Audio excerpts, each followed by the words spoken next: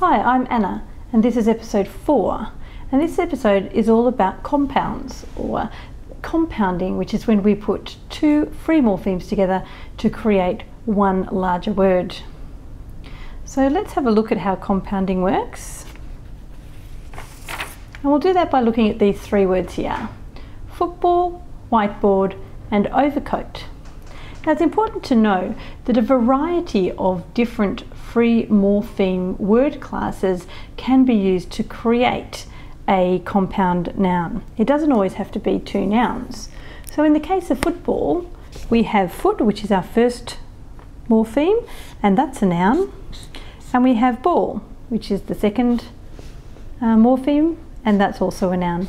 So that stands as a noun and a noun to create football we have the word white.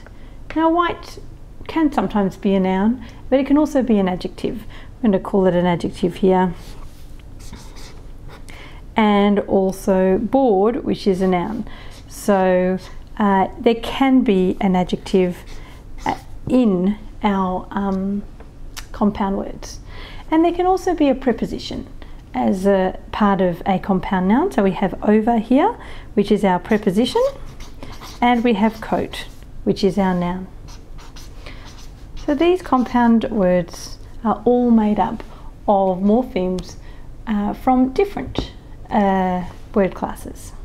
That's our first point.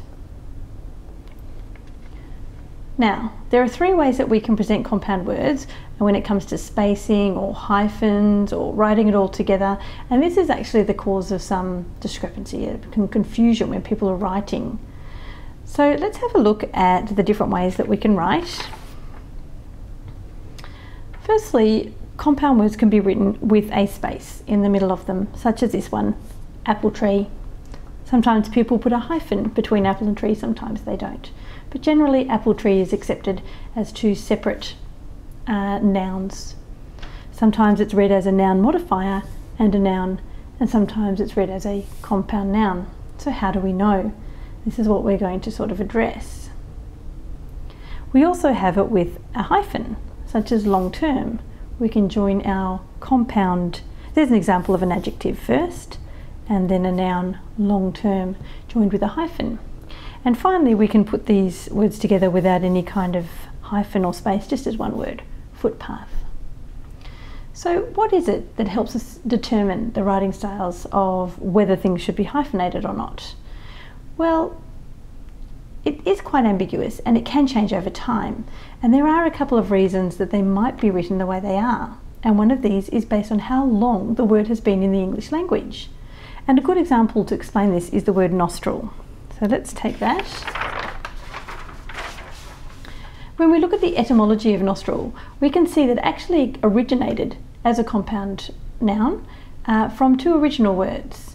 Nosu, or nos, which meant nose, and thrill, which meant hole. And over time, these words were so commonly used to represent the holes in our noses that they eventually became one word, nostril. They were put together. So today, unless we're aware of the etymology, we would never consider nostril to be a compound word, and it would be very unusual for us to see these two words as two separate morphemes, unless, of course, you know the origin. And this is how, over time, words become closer and closer together and, and, and written uh, as one word over time. I think a more modern example of that, certainly in my lifetime, when I was growing up, I was taught using blackboards. And now that I'm a teacher, I'm teaching using whiteboards. And when whiteboards were first introduced into the classroom, they were spelt with a hyphen, whiteboard with a hyphen there.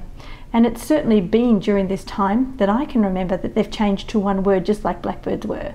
So it's almost like as the acceptance over time of the concept of using a whiteboard instead of a blackboard became more secure, that's also when the compound presented itself as one single word joined together. So that probably has some sense of impact on it as well. Now, in addition to the etymology of the word, other factors that affect how the compound is written is the word class of the original morpheme as well as um, style. Simple as that. In other words, it's kind of just done by feel, which makes it impossible to provide a hard and fast rule in relation to its written form as to how it should be written. So if there's no hard and fast rule about how compound words should be written, how do we know when it's a compound? Well, it comes down to how we pronounce it. So let's take a look at the following three compounds or four compounds here to explore this. And the one we'll start with is bus stop. Why don't you listen to the words or word bus stop in the following two sentences?